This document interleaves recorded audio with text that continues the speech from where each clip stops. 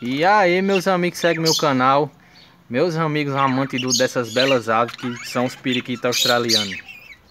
Então, meus amigos, o que aqui está acontecendo? Para atualizar um pouco é minha criação de periquito australiano. Como vocês assistiram no vídeo, um filhotão tá aqui, né? O verdinho. O outro filhotão é o azulzão lá, ó. Tá bem grandão já, ó, o primeiro azul de lá. E agora a terceira ave acabou de sair, nem que acabou de sair, eu que realmente coloquei ele para fora do ninho.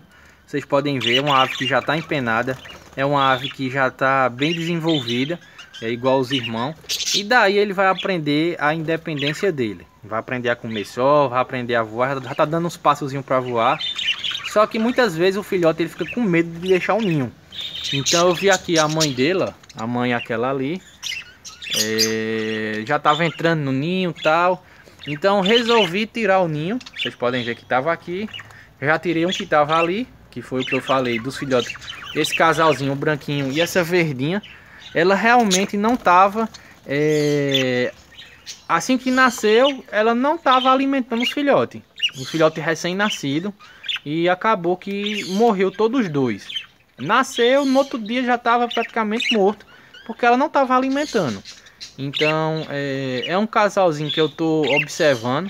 Não é a primeira vez que ela faz isso. E realmente tenho que dar uma estudada nesses casais que realmente só tá fazendo volume. Então, casais que está fazendo volume, é, eu vou começar a descartar é, a questão disso. Essas aves que não estão reproduzindo, não estão, não estão, aves que ficam batendo nos filhotes, então eu vou fazer uma reformulação aqui no meu viveiro. É, essa verdinha aí, ela está em fase de análise. É, meu pai prometeu para um amigo dele, uma fêmea, já que ele tem outro macho lá, então eu quero, pode ser que esse daqui eu vou estar tá vendendo a ele, justamente por causa disso, já é a segunda vez que ela faz isso. Então pode ser problema que eu crio em viveiro, o rapaz lá quer criar em gaiola, então pode ser que engaiole com outro macho venha dar certo. Então, às vezes uma ave que não serve para mim pode estar tá servindo para outro. É, no vídeo anterior eu falei, aves do que tipo um macho que está com uma periquita inglesa já é diferente o caso. É uma ave que supostamente passa é, algo de doença para os filhotes. Então é, é complicado você passar uma ave dessa para frente. É, como eu falei no vídeo anterior, é, o que fizeram comigo com o inglês eu não quero fazer com o próximo. Essa daqui não, ela reproduz normal, é, tá com um casalzinho com esse branquinho, mas infelizmente é, nasce os filhotes e do nada ela não alimenta, ela deixa aí, não sei se é estresse por causa do viveiro. Quem cria em viveiro tem esses problemas, é, tem problema de briga, tem problema do estresse, tem disputa de caixa. Então me perguntam, IGV, o que é que você acha, viveiro ou gaiola? Então meus amigos, para viveiro é, é bom, é rápido a reprodução, sim, mas tem vários problemas que você vai encontrar. Então, quais são esses? Disputa de caixa, briga, briga de, de macho por fêmea, é, fêmea invadindo caixa da outra e quebrando os ovos, batendo no filhote das outras. Então, todos esses problemas você vai encontrar em viveiro.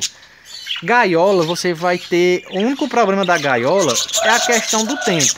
Então, eu não tenho tempo para colocar. Dá o tanto de aves que eu tenho aqui. Então, se eu for determinar essas aves, todas elas, ó, eu vou dar um giro é, melhor para vocês. Ó. Olha o tanto de aves. Então, se eu for colocar todas essas aves em gaiola, eu vou precisar de um bom tempo para fazer a manutenção em questão de limpeza, de trocar água, observar como é que tá as caixinhas. Então, Aqui não é, é o meu ganha-pão.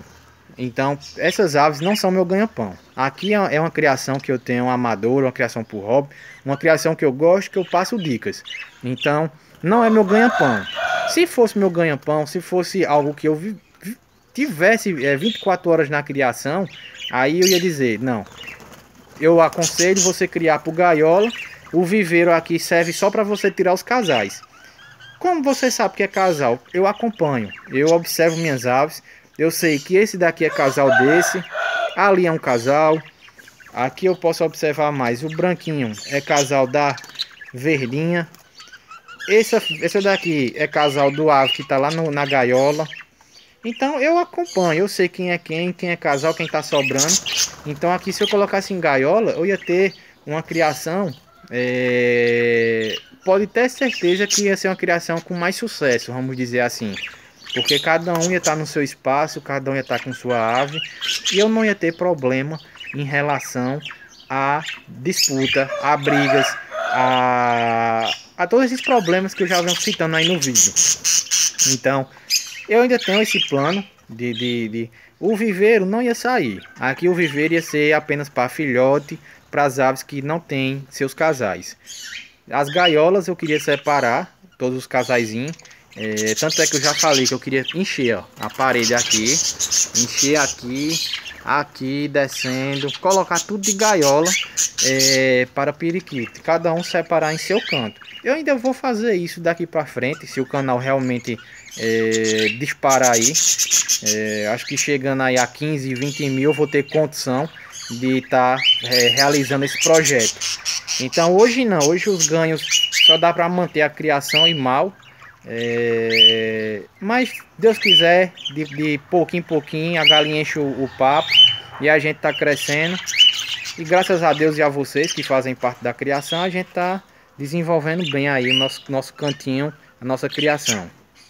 Então, com fé em Deus, a gente chega lá. Reprodução tá tendo, aves já estou colocando em descanso. Já tirei duas caixas. Então, descanso verdadeiro é esse, onde você tira e isola as aves. Então é isso. Aqui eu já tenho um periquito, como eu falei no vídeo anterior. A fêmea já está entrando, ó. Então, já está tendo uma aceitação. Eu separando ele, eu vou ter que remar do zero. Então, foi a única ave que eu percebi que estava tava, é, che tava se chegando a ela, estava tentando acasalar com ela. E foi onde eu permaneci com ela. Ali está o outro filhotão da burguesa. Eu botei porque essa gaiola é pequena para ele. Coloquei aqui para ele bater as asas, aprender a voar e ganhar sua independência. E a fêmea tá aí dentro ó, da caixinha, como eu falei para vocês. Aqui é uma, é, são duas aves que estão em descanso, é, não é casal. É, então você que tem esse pensamento, tá? Coloquei duas aves é, junto é casal, não é? Não estão cruzando. Então tá, tá em descanso. Essas duas aí tá em descanso. Futuramente esse vai voltar pro viveiro. E esse daqui eu vou colocar algum macho para acasalar com ela. Então é isso, galera. Tá as aves aqui, graças a Deus, Tá tudo em paz. É, sai um novo filhote. Tá aqui. É um filhote bem básico, né? A cor. Vocês estão vendo, é o filhote é, da cor verde. É a cor básica da, da natureza. Então na natureza é, a cor deles realmente é esse básico. Essa daqui vocês podem ver a cabeça dela, um pouco meia pelada, ó. Tá vendo aqui perto do olho? Isso é, isso é briga, isso é, é disputa é querendo é, caixa da outra e acontece essas confusões. Esse branquinho é muito lindo, galera. Eu tava pensando em colocar esse branquinho, é, tanto com a inglesa, mas como eu vi a aceitação dela com aquele macho, tô pensando em colocar com aquela que tá na gaiola. Esse branquinho aqui, tô pensando em colocar com ela e ver no que dá. É uma ave que realmente eu quero muito tirar filhote dele. Ele tava com dois, é, mas realmente a, a fêmea que ele tá, que é justamente a verde, tá se balançando ali, ó, no puleiro se balançando, ela realmente não vem me dando é, alegria não. É uma fêmea que coloca, mas no final das contas abandona, não cuida do filhote. Então é uma fêmea que realmente não está servindo para a criação do GV. Olha a disputa aí. Olha o que eu falei. Disputa, olha a briga entre um macho protegendo a caixinha de sua fêmea é, dessa outra fêmea aqui. Essa fêmea também tá me dando, tá, tá, tá, me dando problema. Ela entrou na caixinha da aleijada. A aleijadinha na ninhada passada, ela tava com um dos ovos é, realmente galados. Ia nascer filhote e ela entrou e quebrou todos os ovos. E no final das contas não botou ovo em canto nenhum. Então, há esses problemas quem cria em viveiro. É muito complicado realmente criar em viveiro, em comunidade aqui é, você criar é, todos juntos, em comunidade não, em colônia. Você criar todos juntos é um desafio. É, a qualquer momento você pode ter uma surpresa. Então, meus amigos, é um vídeo bem básico. Vou fazer a manutenção, colocar comida. Olha o filhotão já comendo sozinho, ó, independente. Aqui está o irmão dele e ali é outro irmão dele. Então, três novos filhotes aí para nossa criação. É, E é isso, um pouco da criação, ó, já coloquei até um pouquinho de ração aqui de postura, ó, já comi todinho. E isso vai fortalecendo as aves. Olha lá o nosso filhotão, dá um zoom, ó. O nosso terceiro filhote acaba de deixar o ninho, tá aí, ó. O irmãozão dele aí também, ó. São dois, duas aves parecidas. E é isso. Espero que vocês gostem mais um conteúdo aí do canal do GV. Atualizando a nossa criação de periquita australiano. Falando um pouco aí das aves, da, dos, dos, dos, dos confrontos que há dentro de viveiro. Realmente, gaiola, é interessante criar em gaiola. Vocês podem ver, esses maiores criadores de aves, eles não criam assim em colônia, eles criam em gaiola. Justamente por facilitar o manejo e o controle das aves. Porém, tem que ter tempo. Eles vivem daquilo, eles ou se não, eles têm muito dinheiro para colocar funcionário. Então, é uma estrutura diferenciada. Eu, como sou um pequeno humilde criador, estou começando agora. Quem sabe futuramente a gente alcança todos aqueles projetinhos de comprar um terreno, fazer baias.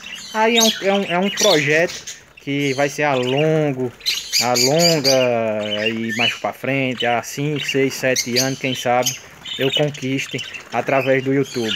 Mas para tudo isso, tem que trabalhar muito, ralar muito, humildade sempre e contando com todos vocês que estão aí do outro lado, que se tiver aceitação, com certeza o canal do GV vai crescendo aos poucos e o nosso projetinho, se Deus quiser, vai ser alcançado. Então, tem que sonhar para um dia conquistar. Um abraço, fiquem com Deus, até o próximo vídeo, se Deus permitir.